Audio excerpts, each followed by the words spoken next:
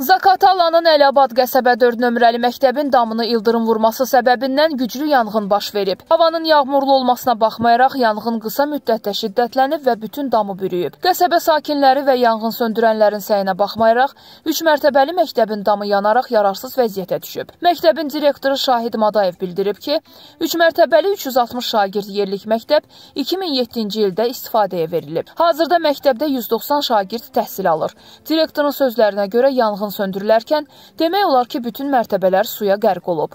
Bu səbəbdən burada tədris mümkün olmayacaq. Yuxarı hissəsi məktəbin damı tamamilə yanıb. Aşağı hissələrə, siniflərə yanğın keçməyib. Sadəcə yanğın söndürmə işləri aparılarkən su damıb. Yaxın ərazidə bizim Əliabad 3 nömrəli tam orta məktəb var. Həmin məktəbdə biz gün ortadan sonra tədrisimizi davam etdirəcəyik deyən Şahid Madayev sözlərinə onu da əlavə edib ki, artıq dünəndən bir sıra hazırlıqlar görülüb, 3 nömrəli məktəbdə tədrisin planı hazırlanıb.